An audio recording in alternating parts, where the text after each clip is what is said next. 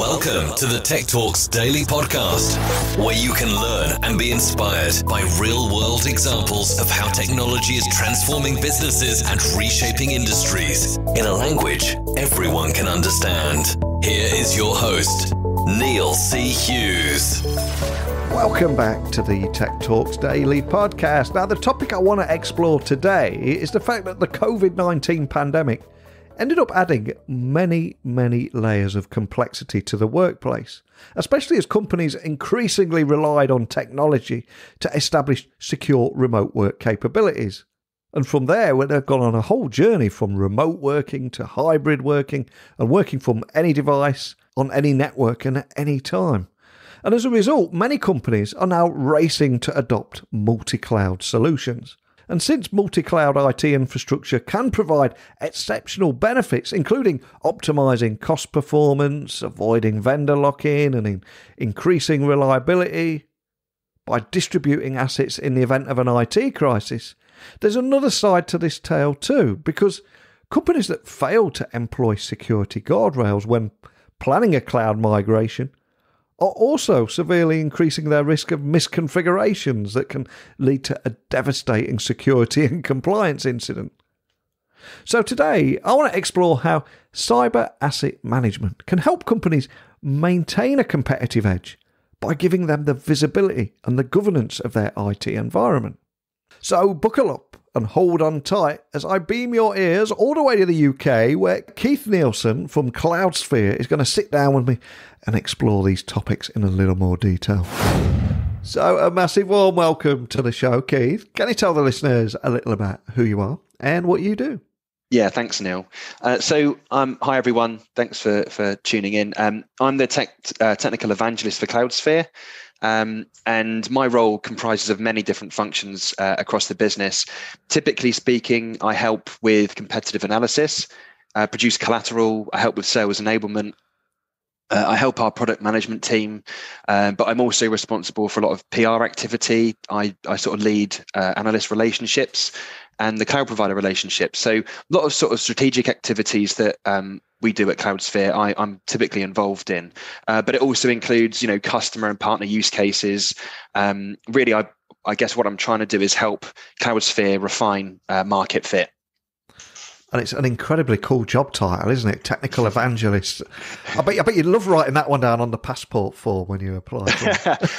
yeah, it's one of those that um, yeah, I'm not sure I can get away with that because it's it's one of those things people say, sorry, what? yeah. um, and a long time ago, I, I, I did actually get held up in Cuba with uh, the role I was doing at the time, uh, and they didn't get, they didn't understand that, which was interesting. So I I tend to just write IT professional. yeah, I had a very similar experience at San Francisco Airport. Um, uh, and they asked me what I did. I ended up getting taken into a separate room, and I had to try and explain what a ghostwriter was and what a podcaster was. And, and in the end, we settled on you make other people look good. And I thought, yeah, that, will do. Let me go. yeah, we'll take yeah. that. but uh, before we talk about your role now and the success that you've enjoyed, I always like to ask my guests where their passion for tech came from, what lit the spark, and, and what was their origin story. So, can you yeah. tell the listeners a little bit more about that moment that put you on this path? Um, yeah, I, will give you a bit of a bit of a tale, as it were. Um, I guess I, have always been interested in technology. Um, you know, I've always been interested in, in gadgets and computing uh, from a young age. I think, if being honest, uh, I'm sure probably not alone with this, but I think it was probably gaming and games that I think you know got me attached to that. And I think you know from that i ended up sort of building out a computer myself uh, a long time ago now i've done that several times you know when i was young uh, and i think it just really pulled me into what's possible with computing and technology as a whole. Uh, and so I think I think that was probably the the spark. And I am a bit of a gamer. I don't really get the time to do it anymore, unfortunately. Um, and the, the kids take up the console time if I do get it. But uh, yeah, that that's kind of like I guess where it started out. You know, with my interest in technology. Yeah, I'm, a, very similar myself. I, I, I still try and keep my hand in gaming, but it took me about six months to finish The Last of Us Two, where it takes most people like a weekend. You know. yes, exactly. It's a great game, by the way. Yeah, it did. It took me a long time as well. Uh, and obviously, when you've got little ones, you can't really play that kind of thing. Yes. Um, you know, at, at, their sort of time when they're still up. So yeah, late nights, and you don't get much of those. So yeah. I feel the pain. and, and, of course, it was that path that led you to CloudSphere, which is a cyber asset management platform that provides the insights required to help businesses optimize and secure hybrid and multi clouds. Big hot topics at the moment. But can you ex- expand on that and, and what sets you apart from other solutions out there? Yeah, I mean, I, I guess I, I, probably should just sort of add a bit more to that previous yeah. um, question, just to b- give a bit of context to that. So, you know, that, that interest that I've had, um, it paved the way for uh, a natural move into technology as a career. My my dad worked in technology, um, and and so that was kind of a natural a natural fit. Um, I started off my career um, as a component specialist, uh, moved into a reseller, uh, and started actually doing tech support. I've always sort of been quite technically natured. I love understanding how things actually really work, and what I love even more is actually um, helping to share that information and and grow that information understanding myself but obviously through others. Um, and so I, I ended up sort of moving into an architecture team I started to specialize in uh, certain areas of technology like data center design. Um, also ended up specializing in sort of enterprise mobility and cloud technologies right at the cusp of when it was emerging as we understand it today.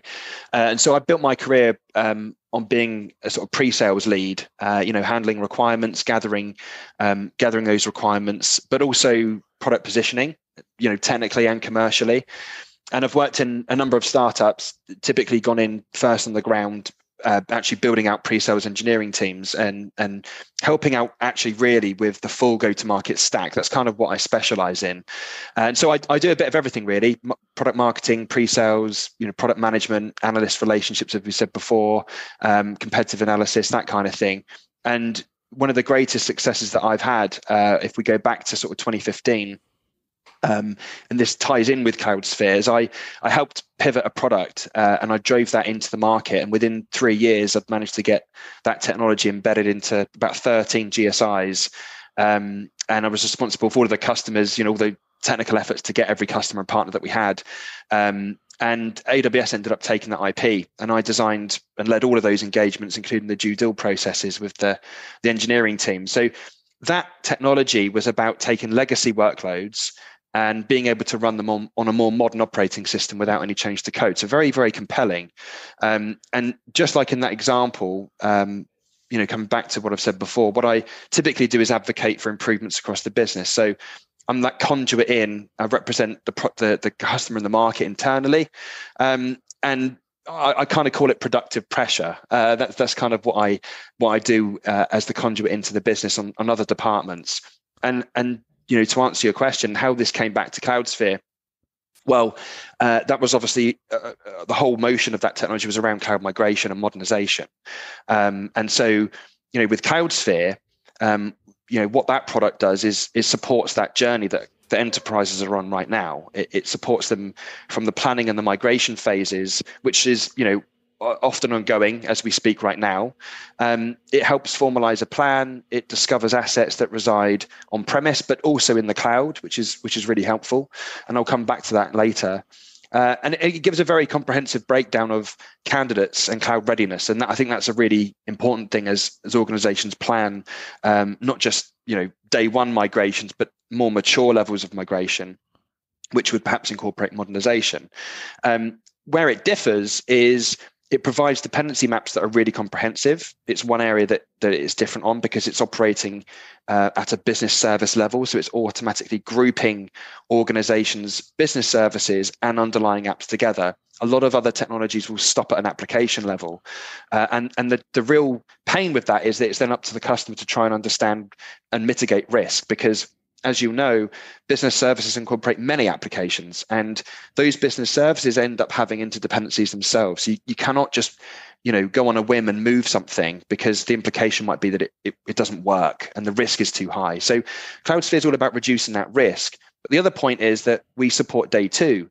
So once an organization has assets in the cloud, they've migrated some technologies already or they've spun up some new um, our technology helps um, mitigate risk further by providing that governance, leveraging the, the, discovery technology that we have, but it provides the governance and the security rules uh, around all of those assets in the cloud. And the key thing is it's the context that we provide.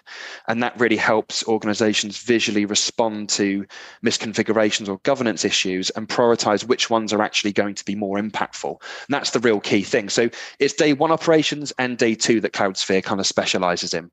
And of course, now many companies all over the world and people listening to this are all racing to adopt multi cloud solutions, especially as we're all entering this hybrid working environment now. So I'm curious, what are the, the key drivers of this trend that you're seeing? And, and ultimately, what are the key benefits for businesses that, that they're going after too?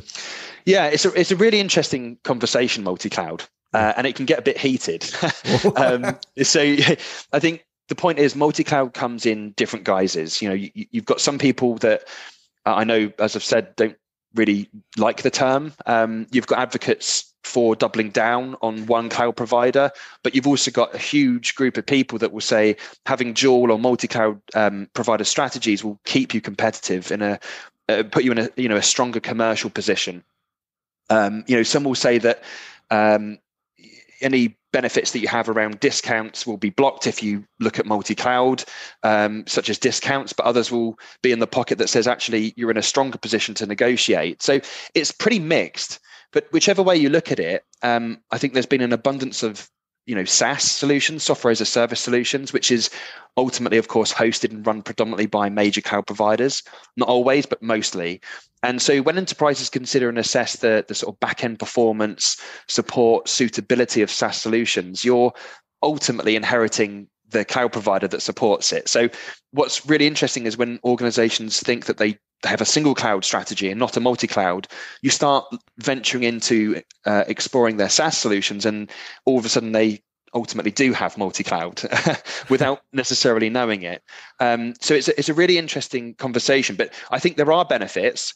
Uh, I, I think benefits would be you know having greater flexibility and scalability if you scale beyond the boundaries of just one cloud you've you've naturally got more um, you know capabilities at hand than a single cloud provider. And i think cloud providers ultimately do things slightly differently from one another. There are some technologies that have been innovated and certain providers have more mature or better capabilities in those technologies. So you know that might suit uh, a particular service or application better than another and I think the last thing I mentioned is around risk management. Um, you know, cloud has such a high level of availability and resilience, but outages do happen. And you know, not too long ago, we actually saw some outages. So, I think having all of your eggs in one basket, so to speak, is that sensible? It, it, it might be, but I think what it comes down to is you know the key point being is to assess each application each service is each business function that you have that you want to be supported by the cloud and then consider where the best place for that asset is to the is to reside and I don't have the answers for that, right? It's that analysis that organizations need to do. And naturally, I think that will help them in their decision making process for, for multi cloud. And security is also a big topic right now. So I've got to ask, can you tell me a bit more about how companies that do fail to employ security guardrails when planning a cloud migration or severely increasing their risk of misconfigurations? And we all know what that can do, especially leading to devastating security and compliance incidents, etc. But that's just a boring XIT guy in me coming out. But, but can you expand on that too? Yeah, I, I think, um, and I, I, didn't want to focus on it too much because I'm sure we're all yeah. sick to death of it. But I think the the pandemic um, may have had some impact on the volume of misconfiguration and governance issues. I think, you know, but on the whole, it's important not to look at uh, something like cloud migration as an example as, as just a technical exercise and project. I think it is actually a much bigger than that. It's, it's a transformation. It's a cultural change across the business. And to support that, I think there's actually at least two other transformations that have to take place for it to function and successfully minimize things like misconfigurations and, and security issues.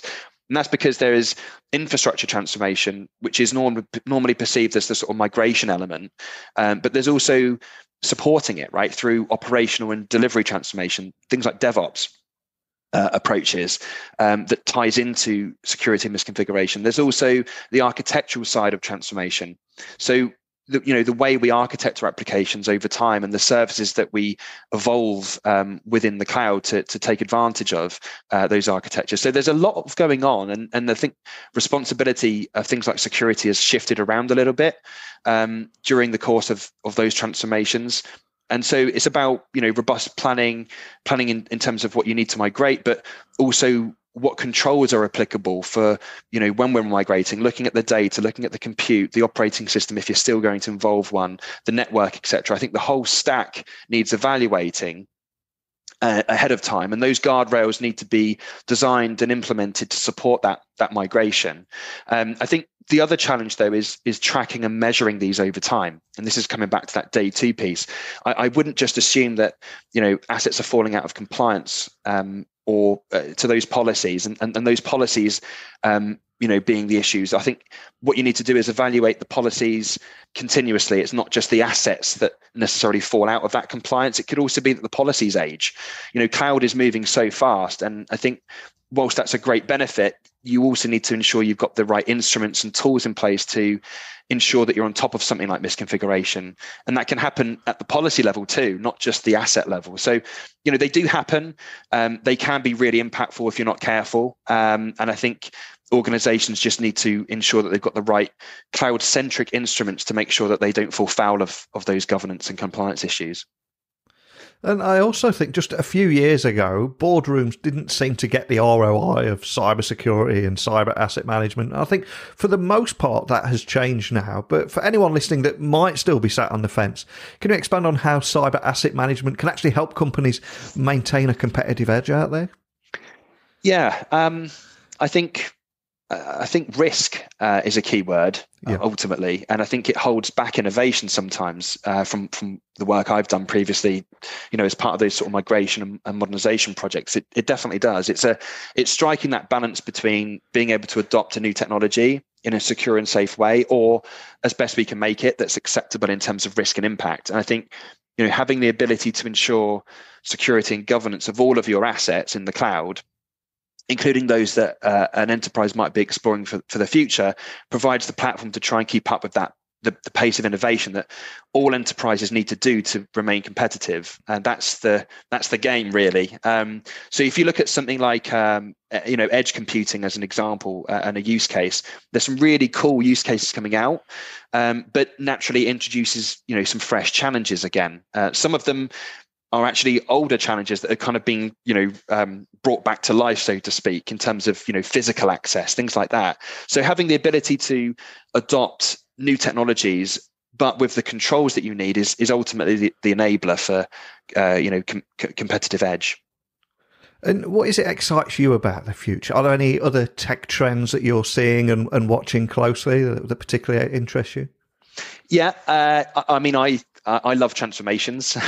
uh, that's that's what I, I really enjoy being part of personally. And the, the startups that I've worked for previously uh, have, have, typically always been around some form of transformation. That's that's something that I'm very very passionate about. I think you know there's something exciting about new technology, new processes, new innovation. That for me is what I love about technology. Um, so I think we're seeing uh, an evolution right now in the way that enterprises are looking at migrations too, and it's starting to incorporate modernization of of applications of processes. And this is one area that I personally love uh, to to be a part of, and I, I watch very closely.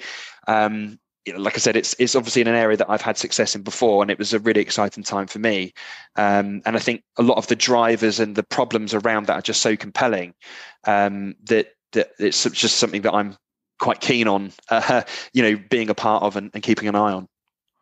Love that. And we started the podcast today talking about your origin story, how you've got where you are. And as we come full circle, this is the bit where things get interesting now. I'm going to ask if there was a song, movie, book, or anything that has inspired your career. And if you've got a story behind that, if you could share it, and we'll leave the listeners on an inspirational note today. Right. That's a very hard question, isn't it? I mean, I'll just be true to myself here. So that's a hard one to answer, but I think what's helped me in my career yeah i'd have to say music in terms of what's helped me. I mean I, I, love movies obviously but i'm not sure i've had lots of inspiration from those. I just sit and watch. But i think whenever i've had lots of stuff to do you know work pr- things to sort of produce and draw up and get stuck into like presentations or tender responses and that that kind of thing i normally play music and uh, it, it's normally kind of like metal music.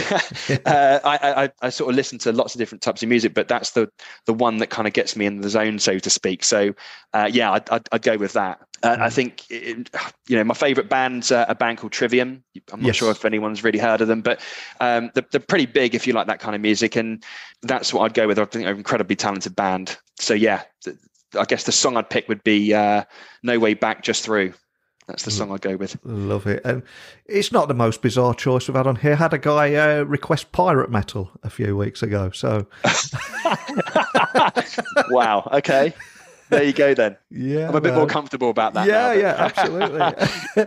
but, but, for anyone listening wanting to find out more information about Cloudsphere, uh, anything we've covered today, or even reach out and contact you or your team, what's the best way of doing that? Yeah, absolutely. Please do. Uh, obviously, our website is is first and foremost. We do have a, a, a big presence on LinkedIn um, and Twitter. Uh, I myself uh, feature. I, I, post quite a lot on LinkedIn and, and Twitter too.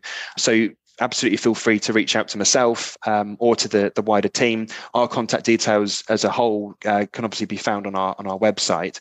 Um, so yeah, please reach out if if you feel that you've got some interesting questions for us to answer. If you've got some use case you think we you know we might be able to help in, we'd love to help. Well, over the last two years, I think it's added so many different layers of complexity to the workplace, especially as companies are increasingly relying on technology to establish secure remote work capabilities. But I love how you've broke that down today, simplified a lot of it as well, and also showed the ROI and how you can get a competitive edge from, from this technology. But more than anything, just thank you for sharing your story and leaving us with a trivium track too. So thanks for joining me today, Keith. Yeah, thanks, Neil. Appreciate it. Speak to you soon. Thanks.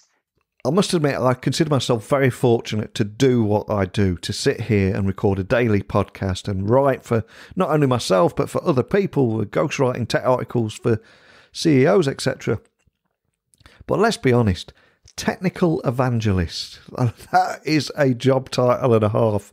I'd love that. I think if I ever made it to be a technical evangelist for a company, I think I might even buy myself a white suit. I'm not sure if I could pull it off, but more on that story later. Seriously, though, thank you so much to Keith for taking the time to come on here and share his insights and discuss some of the, the major talking points, contentious issues, and some of the problems that every business leader is going through and talking about right now and hopefully you found it as valuable as I did. But I'd love to hear more about what you're going through at the moment, what your big talking points, what big trends excite you, whatever it might be. Email me, techblogwriter at outlook.com, LinkedIn, Twitter, Instagram at Neil C. Hughes. If you do leave a rating and review, please send me a screenshot and I'll give you a shout out in the next episode.